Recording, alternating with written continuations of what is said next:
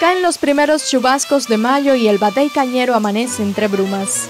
Por más de 50 años, el azúcar ha sido el sustento del pueblo enclavado alrededor del central hasta la lejana montaña. 300 kilómetros cuadrados de espejos de agua y llanuras fértiles para la gramínea definen a este municipio. La dedicación de la mitad de sus 16 estructuras productivas a la siembra de caña sugiere buscar en estos campos las alternativas para asegurar la alimentación del municipio y el cumplimiento de los compromisos con la provincia. Hasta los campos de caña también llegarán hortalizas, viandas y legumbres en modalidad de intercalamiento. Por ejemplo, sembrar frijoles fija al suelo sustancias como el nitrógeno necesarias para la calidad de la caña. De esta forma se asegura el volumen para el diseño de zafras en 150 días, con un balance más efectivo de costos y beneficios según apuntan algunos estudios en el país. Al mismo tiempo se asegura el autoconsumo de las unidades cañeras y el municipio.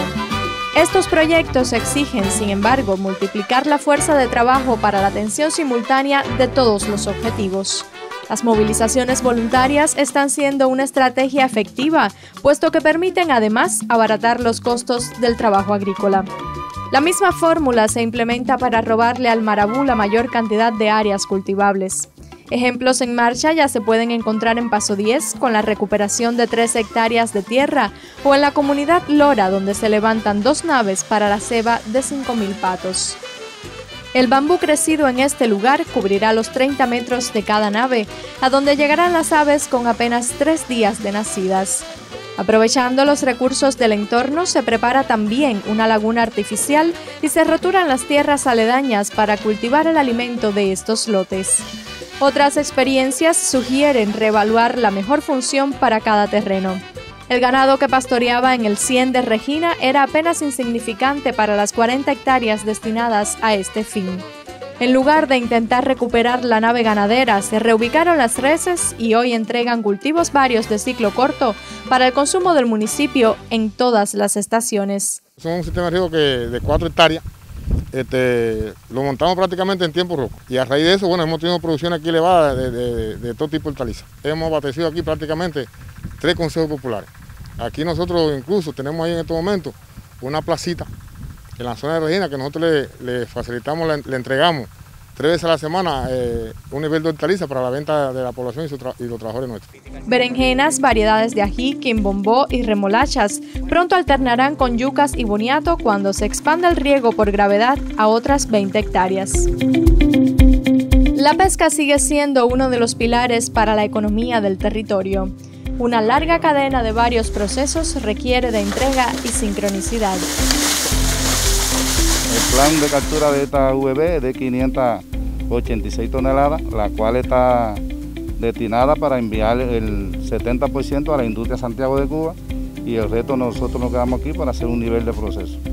Tenemos un plan de, exportación de la TENCA el cual nosotros también estamos cumpliendo este, al cierre del mes de marzo, aunque hemos tenido alguna deficiencia por la cadena de frío, pero hemos hecho un convenio con la provincia de Holguín, un NIPE, el cual nos está ayudando a realizar esta exportación. Y aquí tenemos un salón de beneficios donde hacemos la banda que van para la industria de Santiago de Cuba, con el objetivo de hacer masa de croqueta y también hacemos un nivel de pescado salado que le hacemos distribución a la cadena de, pescadería que tenemos, al plan turquino y también a, los organismos.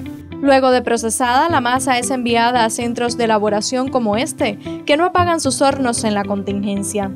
Croquetas, bolas de yuca, pasteles y pizzas son alternativas para la venta de paso, que junto a los almuerzos por encargo contribuyen a sostener la circulación mercantil del municipio.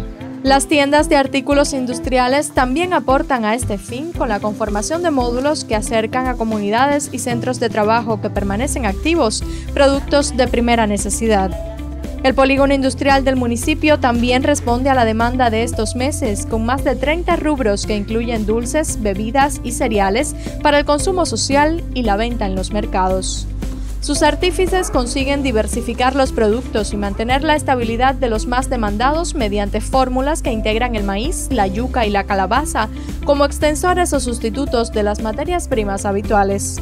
Desde el 8 llegan estos suministros La finca, ya líder en la recuperación de ecosistemas montañosos, ahora se consolida también como un polígono agroalimentario en revolución. En estos momentos tenemos cuatro hectáreas de, yuca, tenemos dos hectáreas preparadas para sembrar y nos quedan cuatro que nos faltan para el cruce y media que tenemos sembrada de malanga y media que tenemos para la siembra de calabaza empadada. Y estamos en un proyecto de seguir creciendo con los animales. El polígono industrial también recibe de las estructuras de la agricultura urbana, suburbana y familiar. Sus organopónicos han ido más allá de la huerta y también fomentan la reproducción cunícola y construyen la primera de 10 casas de tapado que tendrá el territorio para minimizar el azote del clima sobre los cultivos de pepino y tomate.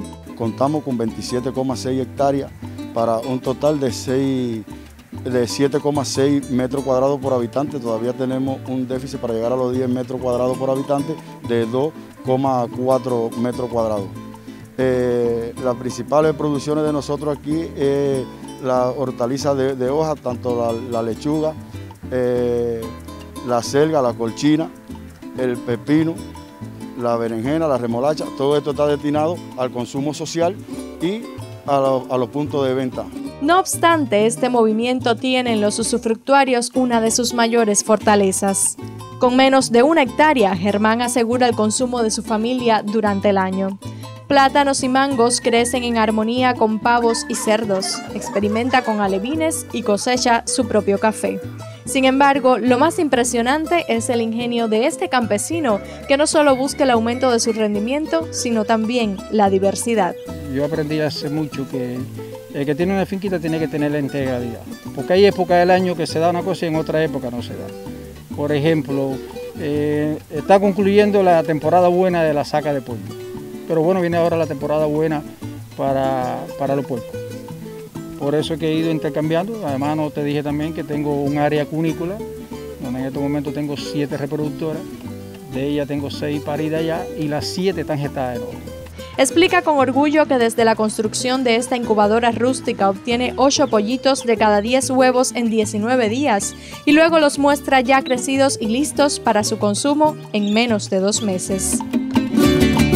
Mella se esfuerza por demostrar que es tierra fértil para la caña y los hombres nobles, esos que no saben de regalar lo que sobra, sino de compartir. En dos envíos semanales, Santiago de Cuba recibe 150 quintales de alimentos cosechados en estos campos, dulces por la gramínea y salvados del olvido secular por el trabajo cotidiano.